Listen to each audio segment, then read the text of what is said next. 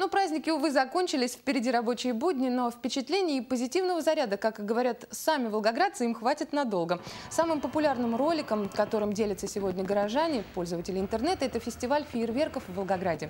Зрителями уникального пиротехнического шоу «В небе над Волгой» стали более 50 тысяч человек. Пять лучших команд Волгограда, Москвы, Самары, Орла и Королева представили на суд зрителей и жюри свое мастерство. У каждой из команд было свое специальное тематическое задание. Фееричнее всех, по мнению специалистов, стало шоу столичной команды.